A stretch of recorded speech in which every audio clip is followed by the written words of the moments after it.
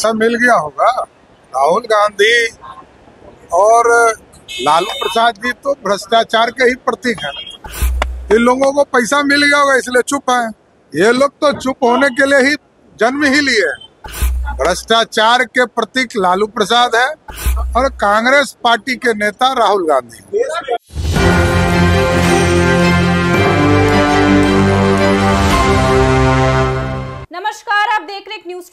24 और मैं हूँ मधुबाला आपके साथ।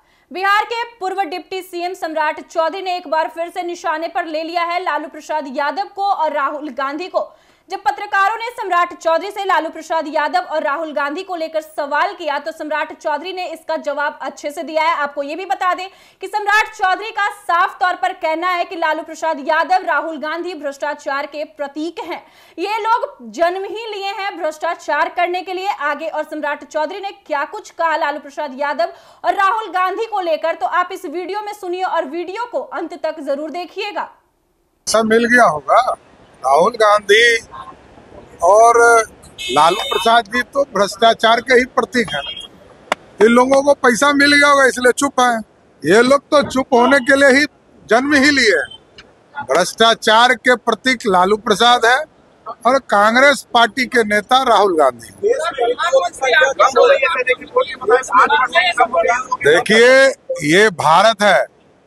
इस भारत में सभी लोग आए, मुगल आए उसने 400 वर्षों तक इस देश को लूटा तो भी हमने ग्रहण किया।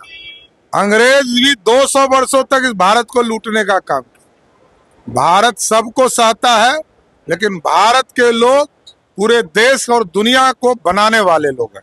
तो जैसा कि आपने सुना, सम्राट चौधरी ने लालू प्रसाद यादव और राहुल गांधी को लेकर क्या कुछ बोला है? पत्रकारों के सवाल को लेकर क्या कुछ जवाब दिया है सम्राट चौधरी ने? ये तो आपने वीडियो में सुना ही है। आपको ये भी बता दें कि सम्राट चौधरी का ये भी कहना है कि देश में, भारत में मुगल का जब शासन था तो भारत को लूटा ही। ये लोग भी भ्रष्टाचार कर रहे हैं, ये लोग भी भ्रष्टाचार के प्रतीक हैं, ये लोग भी भारत को लूट ही रहे हैं। आगे सम्राट चौधरी ने कहा कि भारत को कोई लूटे या कुछ भी करे। जब मुगल का शासन था तो उन लोगों ने भी लूटा, ये लोग भी लूट रहे लेकिन अब कुछ भी हो जाए, हम लोग को एक नया भारत बनाना है, हम लोग इसीलिए लगे हुए हैं। बाकी भ्रष्टाचारी लोग को जो करना है, वो करे। सम्राट चौधरी का ये बयान पत्रकारों को दिया, पत्रकारों के सवाल को जवाब दिया सम्राट चौधरी ने। इस, इन सब पर आपकी क्या राय? कमेंट बॉक्स में लिखकर ज़रूर बता दीजिएगा। फ़िलहाल इस वक्त की खबर में इतना ही, और ऐसे ही तमाम खबरों के लिए देखते रहिए एक न्यूज़ 24 वीडियो पसंद आया हो तो वीडियो को लाइक करें, शेयर करें, साथ ही हमारे यूट्यूब चैनल एक न्यूज़ 24 को सब्सक्राइब करें। यदि आप हमारे फेसबुक पेज को देख पा रहे तो हमारे फेसबुक पेज को फॉलो करें। धन्यवाद।